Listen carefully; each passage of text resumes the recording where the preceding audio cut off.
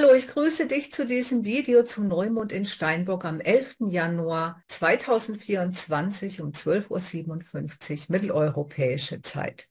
Der erste Neumond im neuen Jahr hat wirklich wunderschöne Aspekte, hervorragende Konstellationen zum Wachstum, erfolgsversprechend und es ist ja der erste Neumond in diesem Jahr im Zeichen Steinbock welches die Energie hat, sehr planerisch und strukturiert zu sein.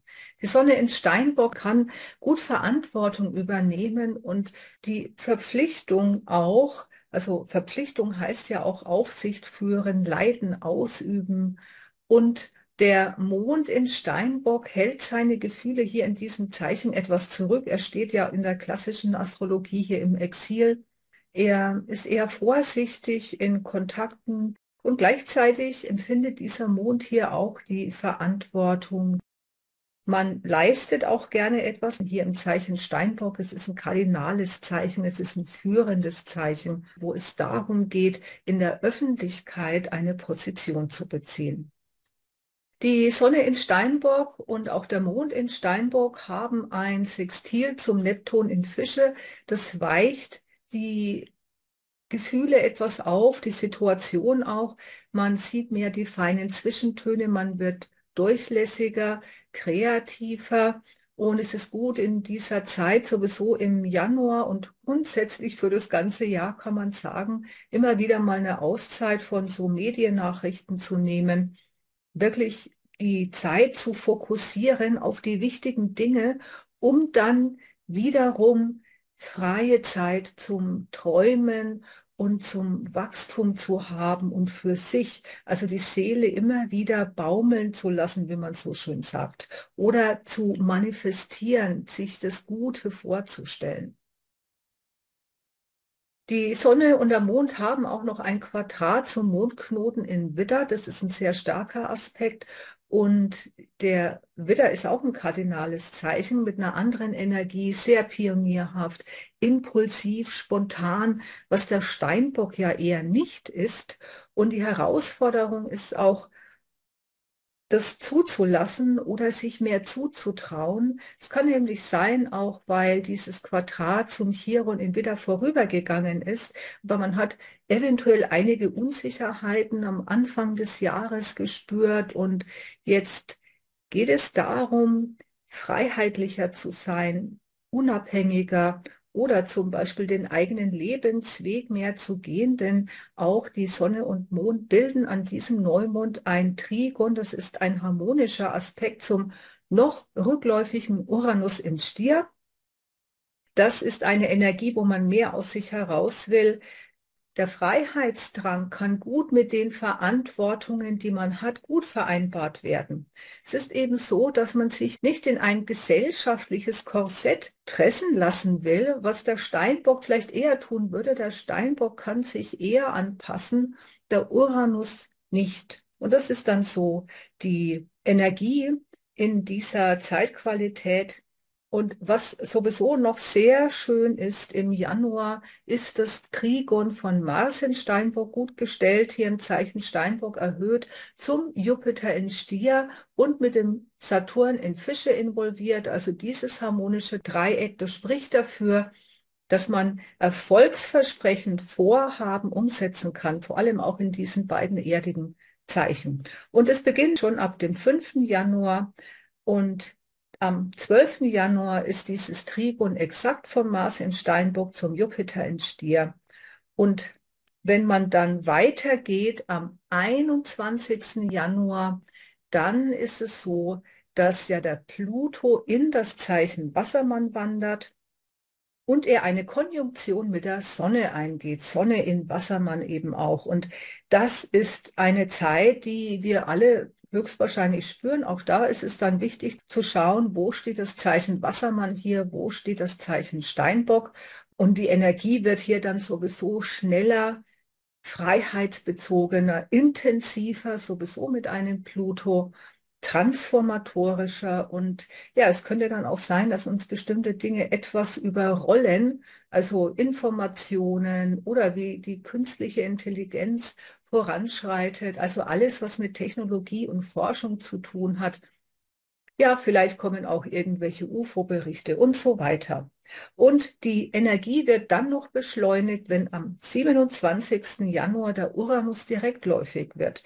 Dann sehen wir wahrscheinlich Veränderungen im Finanzbereich, neue Nachrichten, Inflation und so weiter, alles, was das Finanzielle global angeht.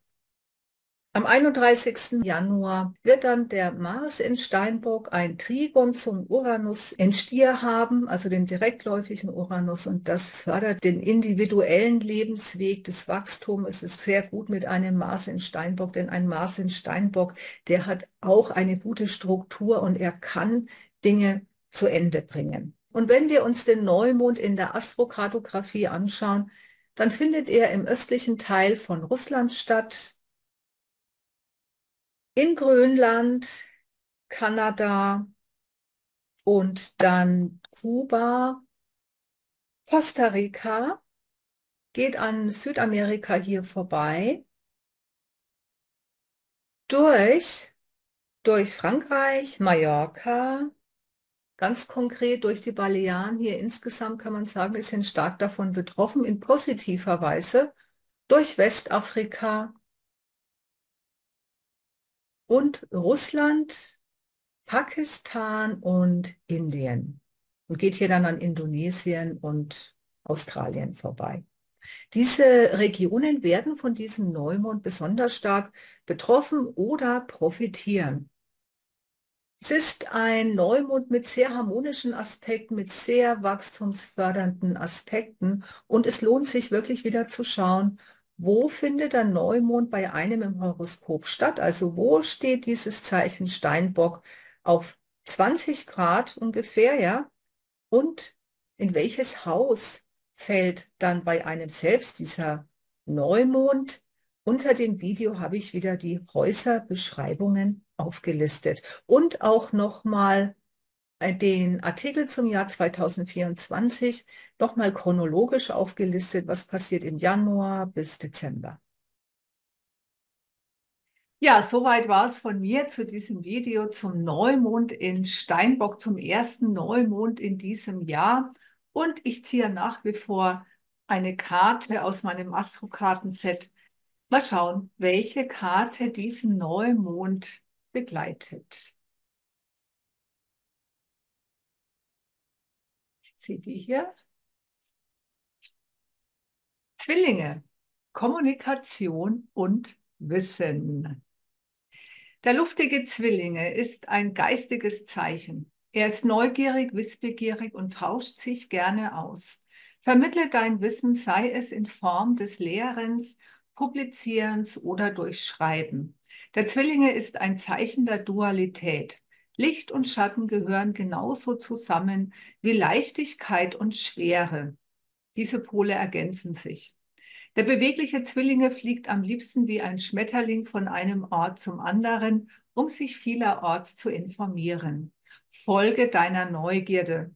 Mit welchem Wissen begeisterst du andere? Finde deine eigenen Worte. Inspiration ist deine geistige Quelle. Sie steht dir immer zur Verfügung. Die Affirmation ist, ich inspiriere und lasse mich inspirieren. Und ja, an dem Pluto-Eintritt in das Zeichen Wassermann, wenn die Sonne auch in der Konjunktion steht, so meine ich, habe ich gesehen, dass das Trigon auch zum Mond in Zwillinge steht. Und das ist auch so ein, äh, gute, eine gute Konstellation, wahrscheinlich auch sehr luftig, sehr beweglich, vielleicht auch sehr flatterhaft oder auf jeden Fall sehr intensiv. Ja, so äh, weit von mir zu diesem Neumond in Steinbock. Ich freue mich sehr, wenn dir dieses Video gefällt. Ich freue mich wie immer über ein Like, über ein Feedback, über ein Abonnement. Und auf meiner Webseite annaroth-coaching.com findest du weitere Angebote. Du kannst auch dir gratis gerne eine Astrokarte ziehen, dich unverbindlich in meine Newsletter eintragen. Dort gibt es weitere Angebote zu jedem Neu- und Vollmond oder halt eben schriftliche Beschreibungen oder Workshop-Angebote, endlich auch wieder in 2024 mehr. Und Dann gibt es nach wie vor mein persönliches Coaching, meine weiterführende Coaching-Begleitung. Das kann ja Anfang des Jahres besonders interessant sein.